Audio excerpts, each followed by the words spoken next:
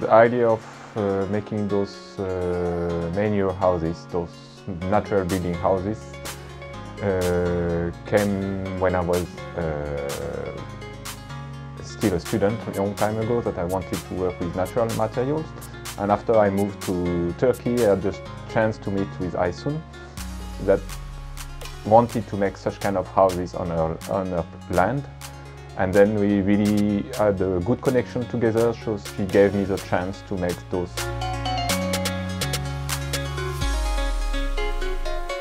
The purpose of the project, especially the Tezekeveri project, this manual houses project, is to make awareness about the possibility of uh, building in an alternative way.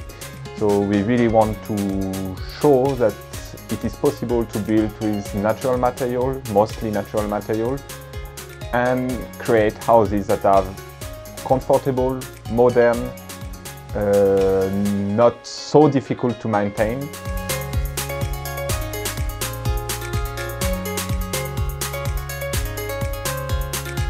The main idea for the natural building is uh, that you create a structure uh, that breathes, that lives, uh, that is easy to clean, uh, that is isolated, um, simple structures.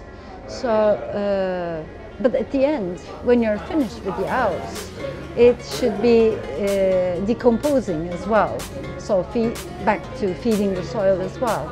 So the main uh, materials we're using is soil, uh, straw, wood, manure, gravel. But uh, the materials also change according to where you are building the structure as well. So you've got to be looking around out there in nature as to what type of materials you should be using.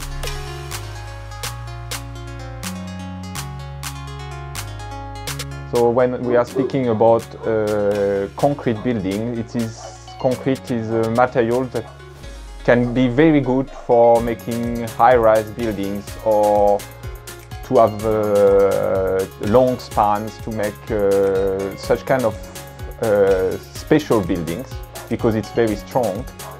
But it is a material that is uh, requiring a lot of energy to produce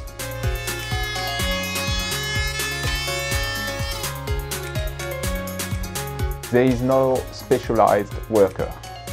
This means that as an architect, hopefully I'm also a builder, so I can build and I can make the houses. But we don't have anybody that knows how to make a straw bale wall or a mud brick wall or uh, the different techniques we were using.